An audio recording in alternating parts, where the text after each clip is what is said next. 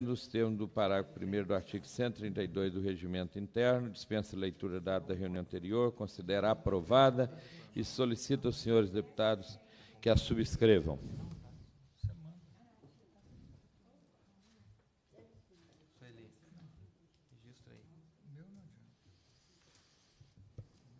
A presidência comunica o recebimento de documentos referentes ao projeto de lei 5.409-2018, apresentados pelo autor. Anexem-se ao referido projeto de lei.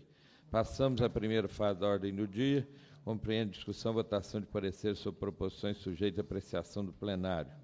Projeto de Lei 5.409-2018, em primeiro turno, que autoriza o Poder Executivo a doar ao município de Poço Fundo o imóvel que especifica. De autoria do deputado Ulisses Gomes, relator, deputado Leonídio Bolsas, que, analisando esse projeto, concluímos pela juridicidade, constitucionalidade e legalidade na forma apresentada. Em discussão. Em votação, senhores deputados que aprovam parecer, permaneçam como se encontram. Aprovado.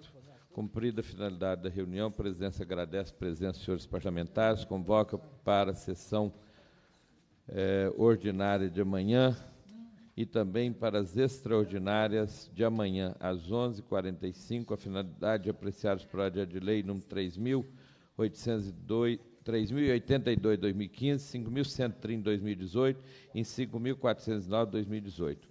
E às 12h15, com a finalidade de apreciar o projeto de lei número 2.507-2015, 4.002-2017, 4.869-2017 corrigindo aqui que já foi apreciado por 5.409 2018 nesta sessão.